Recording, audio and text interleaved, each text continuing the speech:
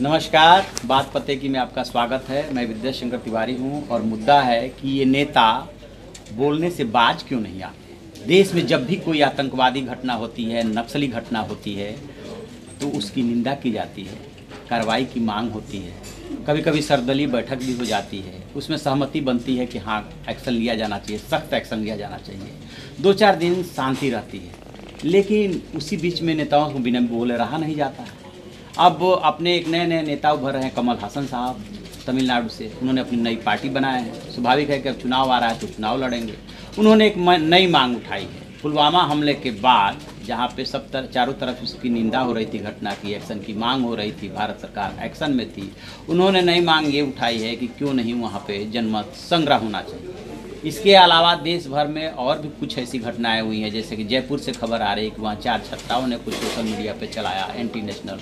उनके खिलाफ मामला दर्ज हुआ। हरिद्वार और देहरादून से खबर आ रही है, अलीगढ़ से खबर आ रही है। देश में और कुछ छुटपुट छुटपुट ऐसी खबर बातें हुई है जिसपे कि पुलिस एक्शन में है। जहाँ पे भी ऐसी खबरें मिल रही है, वहाँ पे एक्शन लिया जा रहा है। क्या है ये पूरा मसला? क्यों कमल हासन साहब को अचानक जन्म संग्रह की याद आई? इस पे चर्चा के लिए हमारे साथ हैं हमारे सहयोगी विष्णु शर्मा जी वो बताएँगे डिटेल कि कमल हासन ने क्यों कैसे किन दरअसल दरअसल एक पॉइंट नहीं बोला उन्होंने। जनमत संग्रह की खाली बात नहीं की है। उन्होंने दूसरी आज़ाद कश्मीर बोला। उस हिस्से को जिसे पीओ को कहते हैं हम लोग पाकिस्तान ऑक्यूपाइड कश्मीर। तो ये जो लैंग्वेज है वो किसी इंडियन की नहीं लगती। या तो आप अलगाववादी हैं या आप इंडिया विरोधी हैं, तब आज़ाद कश्मीर उसको बोलते हैं। इसको लेकर तमाम बवाल पहले भी होते रहे। मैं रेफरेंडम का थोड़ा सा इतिहास छोटा सा बता देता हूँ कि कैसे जब देश आज़ाद हो रहा था तो तीन चार स्टेट थे जो तय नहीं कर पाए पंद्रह अगस्त तक कि वो इन्हें इंडिया में मिलना है या पाकिस्तान में मिलना है। इनमें जूनागढ़, हैदराबाद, कश्मीर, ये सब शामिल थे। तो खैर, जूनागढ़, हैदराबाद बाद में इंडिया में मिले, वो कहानी अलग है। लेकिन कश्मीर काफ़ी दिन तक वो फैसला नहीं कर पाया, तब वहाँ पाकिस्तानियों ने, उन्हें लगा कि ये इंडिया में मिल सकते हैं। राजा थे हरी सिंह।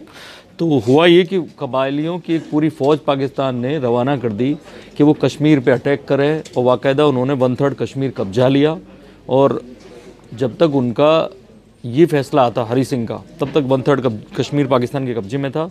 उन्होंने जब साइन कर दिए हैं कि हम इंडिया के साथ मिल रहे हैं, तब जाके इंडियन फ़ौज वहाँ गई और उन्होंने वो जितना भी कश्मीर था, वो कोशिश की वापस करने की, वापस कब्जा करने की। हालाँकि वन थर्ड करीब उनके पास रह गया और ऐसे में हमारी तरफ़ से कहा जाता है कि नेहरू जी गए यूएनओ गए कि युद्ध शांति हो। और उसके बाद यूएनओ ने ये किया सिक्योरिटी काउंसिल में गए, उन्होंने ये कहा कि शर्तें रखी। शर्तें रखी कि जो पाकिस्तान की सेना वहाँ से बाहर जाए, जो भी एरिया उन्होंने कब्जा है इंडिया की मेजोरिटी सेना बाहर जाए।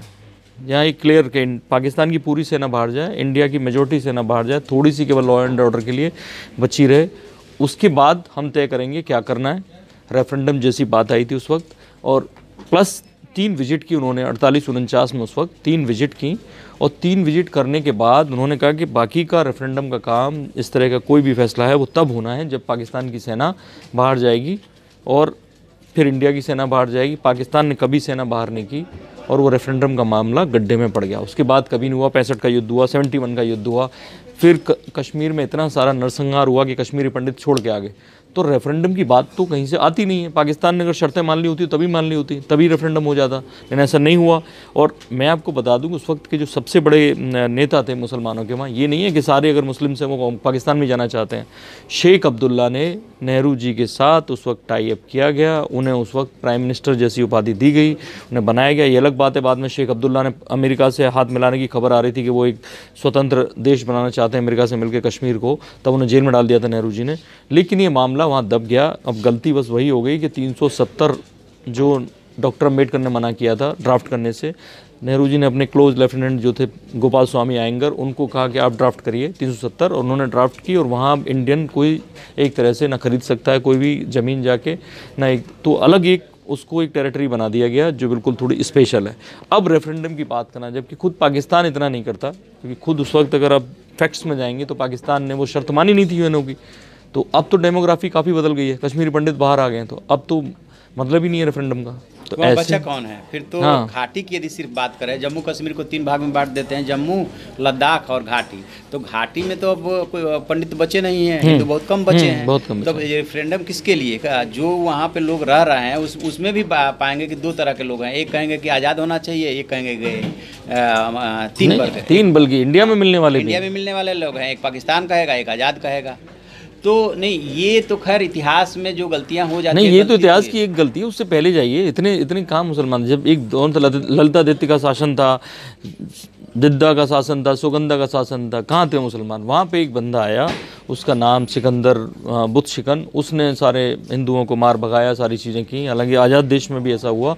तब जाके वहाँ पे इतना सब राज हुआ। वरना पहले कहाँ था? तो पहले की तो राज की बात करिए। आप निज़ाम के पैसे की बात करते हो लेकिन निज़ाम के पास गोलकुंडा की जो खान है वो काकती साम्राज्य की थी उनकी कोई बात नहीं करता। निज़ाम का नाम टाइम मैगजीन में ऊपर छपता है कि बहुत अमीर आदमी थे उन्होंने मदद की। कोई काकती राजा की बात करता है? जिनकी गोलकुंडा खान असली थी जिनकी खानों में से कोई निकला। सेम कश्मीर में आप पीछे के इतिहास में क्यों नहीं जाते? कलर ने जिन्होंने जिनके राज तरंगली लिखी है सारा इतिहास लगा उनकी डिस्कस क्यों नहीं होती? वो डिस्कस होना चाहिए। आप विशाल भारद्वाज जाते हैं आप दुनिया का सबसे पुराना सूर्य मंदिर है वहाँ पे शैतान खड़ा करते हैं और अपनी फ़िल्म हैदर का गाना शूट करते हैं। आप किसी इंडिया में किसी मस्जिद में जाके रावण खड़ा करके शूट कर लीजिए। बिल्कुल ठीक बात तो वो होता है। दोनों तरफ़ से सुनना पड़ेगा। ऐसे में कोई बेवकूफ़ कलाकार आके नेता बनने के लिए अपने एक वोट बैंक को खुश करने के लिए कश्मीर के रेफरेंडम की बात करता है। तो क्या मतलब है इसका? वो इंटरनेशनल कम्युनिटी में चुनाव लड़ने जा रहा है कि इंडिया में लड़ने जा रहा है? और उसको जो सपोर्ट करेंगे, वो उसके सपोर्टर कौन है? दरअसल एक बहुत बड़ा वर्ग है। बहुत बड़ा वर्ग नहीं बल्कि बल्कि मैं कहूँगा कि बहुत छोटा वर्ग है। जब जब भी ऐसी कोई बात होती है तो right to speech and expression याद आता है कि मतलब बोलेंगे कुछ भी बोलेंगे। और जब सेना उस पर लिखा रहता है शर्तें लागू। हाँ हाँ। पर वो शर्तें लागू ध्यान नहीं रखते। ना। कुछ भी बोलते हैं वो। हाँ वो सब्जेक्ट टू सम कंडीशंस है। और वैसे ही जब सेना या पैरामिलिट्री फोर्सेज के जवान मारे जाते हैं तो वो उनको नहीं दिखती वो उनको कोई दूसरा इशू याद आने लगता है। तो है ये एक वर्ग है। और कमल हासन ने मुझे जहाँ तक लगता है कि शायद चर्चे में आने के लिए की है क्योंकि तमिलनाडु में इस इस चीज़ को लाइक करने वाला एक वर्ग है उन्हें दिख रहा होगा कि शायद हमारा वोट बैंक है। इस वजह से ऐसा बोला होगा। अब उनके बोलने के बाद आप पाएँगे कुछ और नेता ऐसे बोलते हुए नज़र आएँगे। वो बोलने वालों की कमी नहीं है। प्रशांत भूषण पहले बोले थे। हाँ प्रशांत भूषण बोले थे। तो नेताओं का काम है वो तो राजनीति करेंगे सियासत करेंगे लेकिन कम से कम जब ऐसे ऐसे मामला हों ऐसे घटनाएँ हुई हों और पूरा देश जो है आक्रोश में हो दुखी हो सदमे में हो तब ऐसी बात करना कुछ गले के नीचे नहीं उतरती है। लेकिन क्या किया जा सकता है। तो आप ऐसी खबरों के लिए देखते रहिए हमारा डिजिटल चैनल इन खबरों खबर उसे लाइक कीजिए शेयर कीजिए और कमेंट बॉक्स में जाकर के कमेंट ज़रूर दें। Thank you